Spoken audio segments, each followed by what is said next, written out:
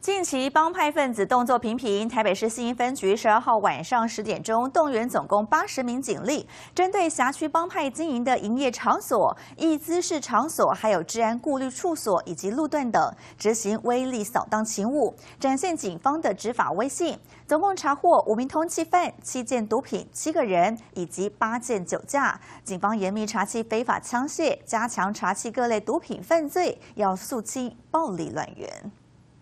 我是李一璇，主播工作对我来说是一秒都不能松懈的战场，将撼动社会大众关心的议题清楚传达出来，更要求自己先是一名认真的记者，才是对观众负责的主播。更多新闻请锁定中视 YouTube 频道，记得按赞、订阅、分享，并开启小铃铛哦。